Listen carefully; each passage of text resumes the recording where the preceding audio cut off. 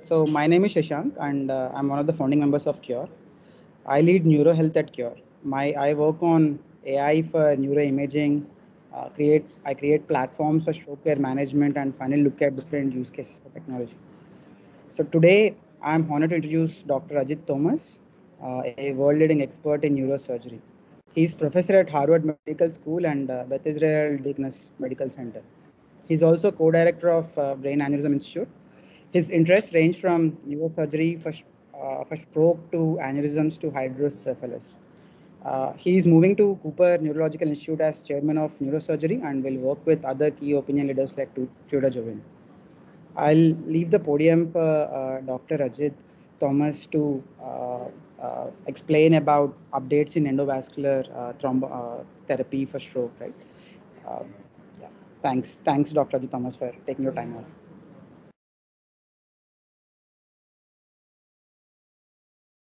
It's a great pleasure to talk to you about updates in endovascular therapy of stroke. Uh, these are my disclosures. Uh, we all know that stroke is an emergency. And why is it an emergency? Because when you have a large vessel that's occluded in a stroke, in a second you lose about 32,000 neurons. And in a, in a second, you lose 230 million synapses and you age about nine hours. And if, if that vessel stays occluded for an hour, then you can see you, you lose about 120 million neurons. You lose 830 billion synapses and you age about four years. So there is a sense of urgency when you have a stroke. And what happens is with the stroke, you get an area in the center, which you call an infarcted area. And this is beyond recovery. But around that area, there is what you call an ischemic penumbra. And then this white area is a normal brain. If you don't reperfuse the brain, and if you don't open up the artery, then this core infarct eventually fills that ischemic penumbra and it even gets bigger. So you end up with this kind of a scenario. But if you reopen the artery, then the infarct stays the same and you don't lose any additional brain tissue. So the major goal of an acute stroke management is resuscitation of the penumbral tissue. If you can resuscitate it quickly, the neurons recover and the patient improves. And if you don't reperfuse it, then there's this cascade that converts those ailing neurons in the penumbra to dead neurons and permanent infarction in that region. So this is another way to look at it. This is the brain. This black area denotes the area that's already infarcted, and then you have the ischemic penumbra around it. So when I see a patient in the emergency room, the questions I ask are, is this a stroke or a TIA? Or is this some kind of non-stroke kind of uh, presentation? Where is the stroke? What kind is it? Is it a hemorrhage or is it an ischemic stroke? What is the most likely mechanism? Is the patient a candidate for thrombolysis or endovascular intervention?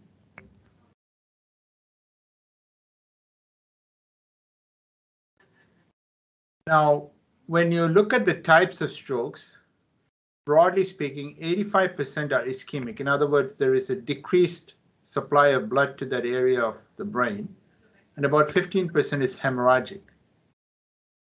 And we are mainly going to talk about the ischemic stroke. And you can see that about 35% are pure large vessel occlusions um, without a cardioembolic cause and cardioembolic is another 25%. Now, a lot of these cardioembolic strokes also end up with large vessel occlusion. So we are primarily concerned about the, the, these two groups when we talk about treatment of or endovascular treatment of strokes. So the steps in management, first is to stabilize the vital signs. And the second question is, second uh, part of the management is I asked three questions. Is there a large vessel occlusion? what is the extent of infarct? How much brain is at risk for further infarction?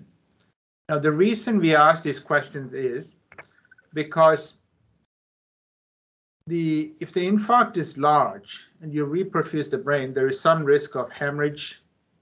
And if there is a lot of brain at risk for further infarction, then it's worth taking the risk of reperfusion injury. The third step is imaging. You could use just a CT scan, which is plain, a CTA with perfusion, or an MRI with diffusion perfusion. Most centers use a combination of a CT scan and a CTA. And then once you do that, these are the potential interventional opportunities. One is medical management uh, and not any treatment. You know, you, you provide secondary stroke prevention. The other would be IV TPA, uh, which is a standard of care.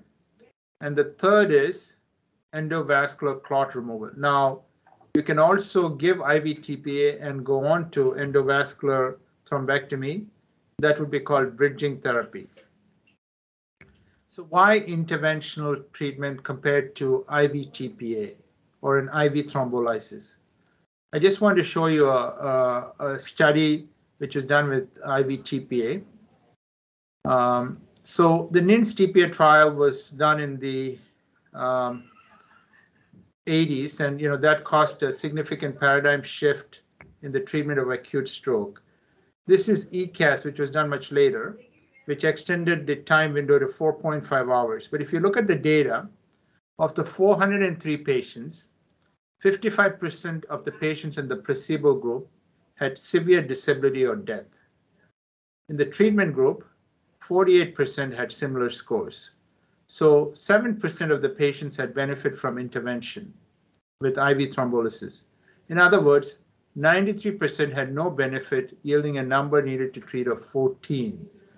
So uh, uh, only a small fraction of patients actually benefit from the IV TPA. So we needed some other intervention. The other issue is we know that opening up the arteries result in a better outcome. So this is an example of patients uh, who had a large vessel occlusion. So if you had a large vessel occlusion and the artery was reopened, uh, you can see they had a good outcome in 58%. Whereas if it was non-revascularized, the outcome was bad. Uh, similarly, uh, you can see the 90-day mortality when they're non-revascularized, the um, the mortality is pretty high compared to the patients who had their arteries reopened. The other interesting fact is when you give IV TPA, overall, about 31, 31% of the blood vessels that are occluded reopen. But if you look at large vessels like the ICA or MCA, only a much smaller fraction reopen. So IVTPA is not really that great for opening up the large vessels uh, that are occluded. And then there's also the impact of thrombus or clot burden. So if your thrombus is about uh, one to two millimeters in length, then IVTPA has a much higher rate of um, recanalization. But when you get to the when you get to say a centimeter of thrombus, you can see the recanalization rate or the probability of recanalization drops precipitously. And what is the mortality with the large vessel occlusion? So as I said earlier, about 35 to 40% of ischemic strokes are large vessel, which is an internal carotid artery, the middle cerebral artery, or the vertebrobasilar artery. And if your ICA is occluded, your mortality rate is 53% without recanalization. If the MCA is occluded, it's about 27%. And if the basilar artery is occluded, it's very high, the risk of dying from it, 89 to 90%. So the goal of ischemic stroke treatment is opening up the arteries. So this is an MCA, which is occluded here. And you can see with thrombectomy, we have reopened the arteries, and this is a thrombus that we removed. And you can see how there is timely reperfusion. And that's the goal. And we have it we have a score with which we assess this. It's called the TICI score, thrombolysis in cerebral uh, infarction score. Zero is no perfusion. 2B is perfusion of half or greater of the vascular distribution of the occluded artery. And three is full perfusion with uh, filling of all distal branches. So the thrombolysis and cerebral uh, um, uh, cerebral infarction score, we want to get to 2B or 3. That's our target. Mean, 3 would be ideal, but sometimes we only get up to 2B, which is also acceptable. And uh, another thing we have to be aware of is something called the Alberta stroke uh, score. It's called the aspect score. Now, this was a scale that was developed to detect early ischemic changes within three hours following acute ischemic stroke in the anterior circulation. It avoids the need for volumetric assessment and just uses 2D imaging. It helps identify patients in whom intervention is useful. And basically it has 10 points and we subtract one point for each ischemic change detected in a, in a region. So you can see how the CT scan is divided into 10 segments. This is all MCA territory. And then, for example, if this area is infarcted, you subtract one, so that would be nine, and this would be eight. So generally you want an aspect score uh, greater than six for any intervention. Um, and so we go on to mechanical thrombectomy, which is what I'm primarily interested in talking to you about. So the first device on the market was MERCI, then you had Penumbra and Solitaire, and then Trevo, Embotrap, and then just aspiration catheters. So this was the first device, MERCI. It was a tapered nitinol wire, which was um, like a helix. And the way we did the intervention was you would pass this MERCI retriever beyond the thrombus, and then uh, you'd have a base catheter here. Uh, this is a balloon inflated, and you would just um, bring this um, thrombus along with the MERCI retriever back into the base catheter and finally take it out of the body. The next was something called a penumbra system, where you had an obturator and a base catheter, and you would keep passing the obturator up and down, and then the thrombus would just get sucked into this. But the turning point was the era of stent retrievers. A stent retriever basically is a stent that you can retrieve. So here is a picture of a stent, and this is the thrombus. You have the thrombus within the stent, and you aspirate it, and it's coming back into the base catheter. So uh, this was the Solitaire was the first on the market, and then we had Trevo, subsequently Embotrap, and now there are multiple devices.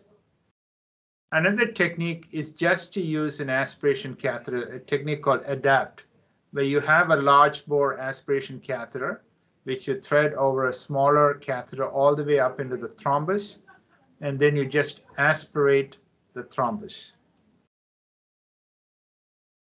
Uh, here is another technique where you use something called the Solumbra device. And you can have a uh, base catheter here and you inflate the balloon. And you'll see that we deploy the stent retriever and you uh, and you pull it back into the base catheter and then you um, you uh, you put it back into the base catheter and then you aspirate um, the whole thing out. So this is how it looks. You have the thrombus within the stent retriever and along with the base catheter. So I just want to give you an example. This is a 59 year old male who presented with sudden onset left hemiplegia while running a marathon. And you can see how his internal carotid artery, this is a CTA, is occluded as it enters the brain. And you have the middle cerebral artery on the right side, and you have the anterior cerebral artery here, and you can see that there is no filling of this area. And so the patient went for a CT perfusion, and what you see on the MTT, or the mean transit time, is there's a large area of uh, ischemic brain. So the MTT uh, diagnoses the area of the ischemic brain. And then you had something called cerebral blood volume, which is also part of the CT perfusion, which shows that a significant amount of brain is already infarcted. This is this dark blue area. But if you look at the area at risk and the area that's infarcted, this patient is a reasonable candidate for thrombectomy. And so you can see that this is from the left internal carotid artery DSA, which shows that there's no flow into the right hemisphere. And when you did the internal carotid run on the right side, you can see how the thrombus is occluded as it enters the brain. Now, we did one pass here, and this is the second pass. We are only able to open uh, one branch, and you can see this is a thrombus, and the patient did have an infarct. Um, so, but you know, we saved a significant amount of tissue, and this area, the patient had swelling of the brain on the right side, so eventually it required a hemicraniectomy. And then we put the bone back after a few months.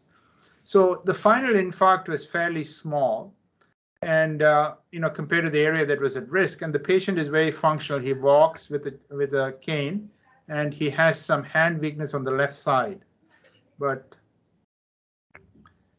the uh, patient, this is the, uh, all this, all, so in 2014, uh, 2015, we had all these trials that came out, which suddenly demonstrated that thrombectomy is a great option for patients with large vessel occlusion. And you can see that here, um, uh, endovascular thrombectomy after large vessel ischemic stroke. This is a like um, this is the, from the Hermes collaborators, which is a pool data analysis of these trials. You know, ESCAPE, Revascat, MR, Mr. Clean, Extend IA, Swift Prime. And you can see that if you just treat 2.6 patients, you can shift the disability significantly compared to the um, the IV thrombolysis trials. And just by, by treating five patients, you can uh, have patients with functional independence. So obviously this works very well. Now it's also interesting that there are two kinds of patients. There is fast versus slow progressors of infarct growth in large vessel occlusions. The fast progressors are the ones that quickly progress and uh, get a big stroke whereas the slow progressors progress over a prolonged period of time. So the standard intra-arterial window of six hours is not applicable for these slow progressors. And so this is an example um, of a fast progressor. You see that this is a patient with a large infarct. Uh, you can see this is time here, and this is the infarct volume. So this patient progressed quickly to get a fairly large volume. And in this patient, which is on the bottom of the graph, this is a slow progressor. You can see even with this prolonged period of time, at 11 hours, the infarct on DWI MRI is very small. So if you look at the overall scenario, about 25% is a fast progressor, uh, and the core is more than 70 cc's within six hours. Whereas the others fall into the slow progressor group, where the ischemic core volume uh, increases over a prolonged period of time. And so in these patients, you can actually prolong the window of intervention. And um, so there were two trials, the DAWN trial and the DEFUSE 3 trial, which showed benefit from 6 to 24 hours and 6 to 16 hours. So, so now there is a subset of patients who can be helped even at a later time point.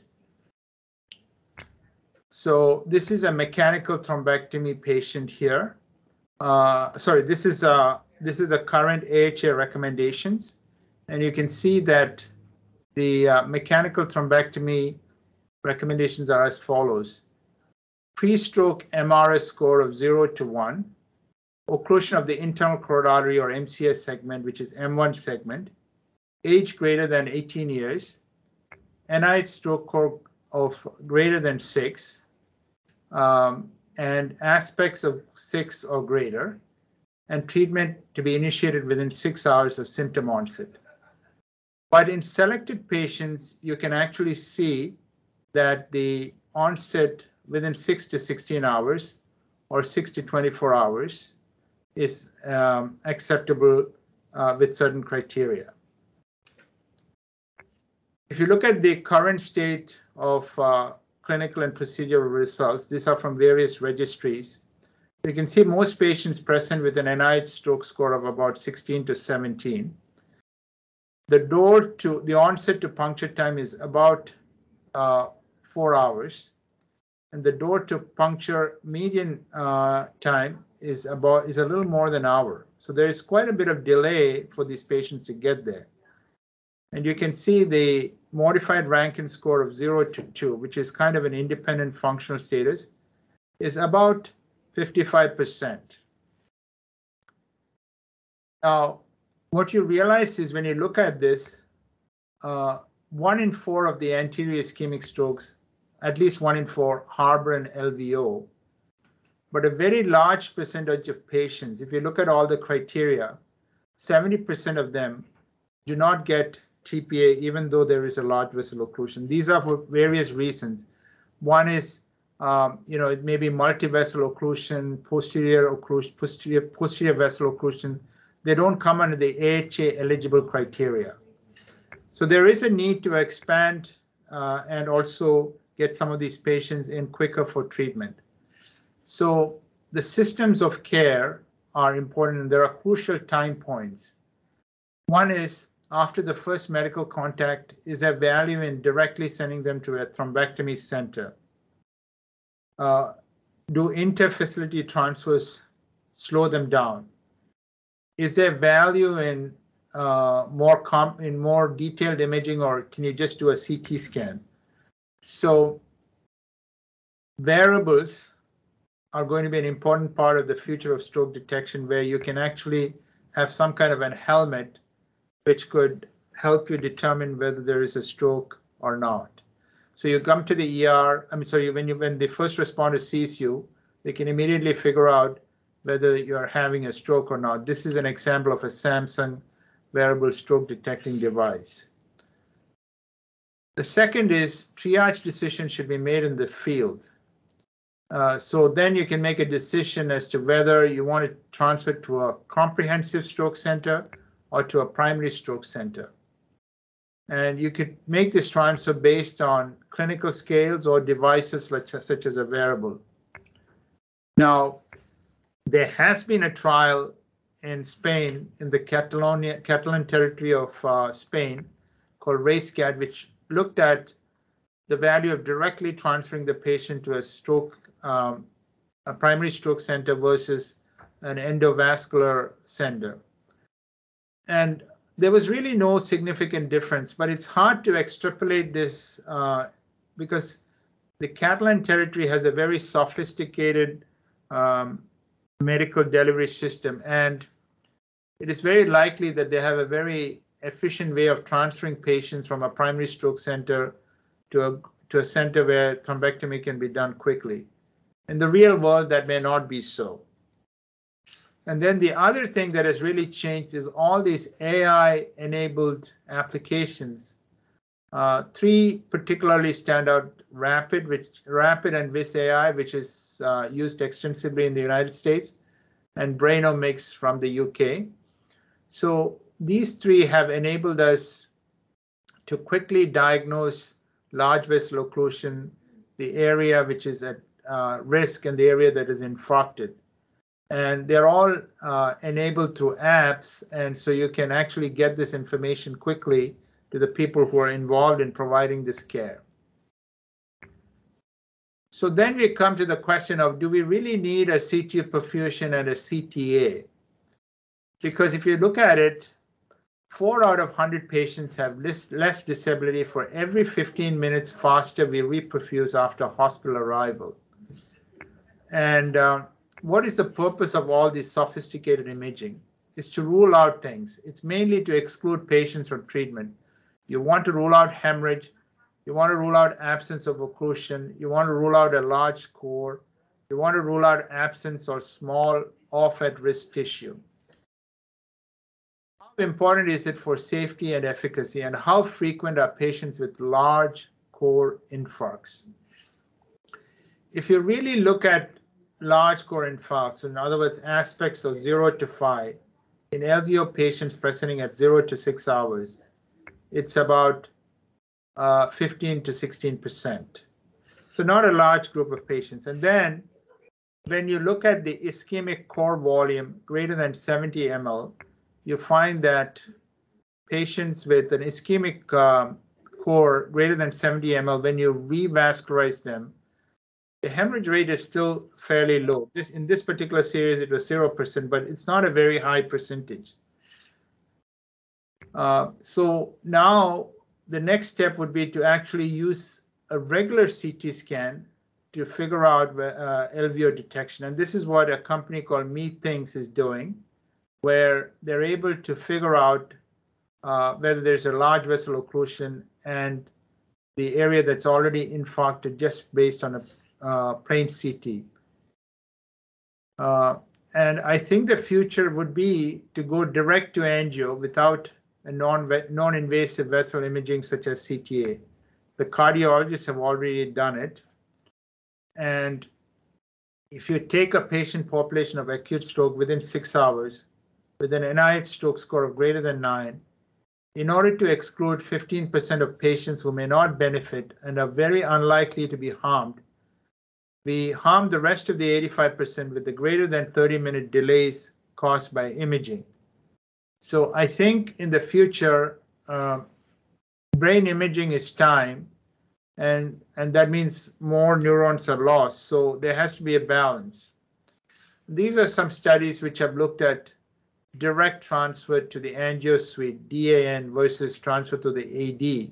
And you can see the door to groin puncture time when you go directly uh, to the angio suite is about 24 minutes in this one versus 82 minutes uh, through the ED. And the door to reperfusion time is also substantially shorter when you go directly to the angio suite. You know, the, in the future, what you may do is you'll take the patient to the angio suite, do a quick CT scan on the angio table, and you can see whether there is a hemorrhage if there is a hemorrhage, you can uh, you can exclude the patient for thrombectomy, and then you can do the, uh, the angiogram and thrombectomy. If you really look at it, at the cost of uh, direct angio suite, direct to angio versus CT and CTP, you can see that if you go to direct angio, the fastest reperfusion, you can save about 15 unnecessary angiograms but you also save 100 CTA CTP, and you also have the benefit of patients reperfusing earlier in this 85%. Whereas if you do a CTA and CTP, the 30 minute delay uh, will cause an increased deficit and the health cost of that. You have the additional cost of all the CTA CTPs, and you save 15 angiograms. So which approaches saves which approach saves more money? Um, it's the direct to angio uh, track. And it's also beneficial for the patients. So within a 6 to 24 hour period, a number is needed to treat of 2 in dawn. A lack of CTP MRI should not be a deterrent from thrombectomy. I think the combination of neuroprotection with thrombectomy is uh, an important aspect. If you have a reversible model of MCO occlusion, um, you can see that, um, sorry, if you uh, uh, there is an increasing trend to use neuroprotection with thrombectomy. And the most important trial was the ESCAPE NA1 trial, which was the using nerinetide, which is a which is a neuroprotectant. But unfortunately, this trial did not show a significant benefit between placebo and nerinetide. And eventually, what we have done is they have looked at uh, what what they realized during this trial was when they used alteplase, which is IV alteplase, uh, there was some interference with the nerinetide. So if you didn't use nerinetide, if you, if you did not use uh, alteplase, there was some benefit in that group of patients. So this study is being redone. And then there are questions like, is tenecteplase better? And it looks like it may be marginally better than alteplase. Do we really need to give a thrombolytic agent with thrombectomy? And based on at least these two studies, this is a Chinese study and this is a Japanese study, those patients who had IV TPA did not substantially benefit when you were planning on a thrombectomy. This is the data. You can see it's pretty similar.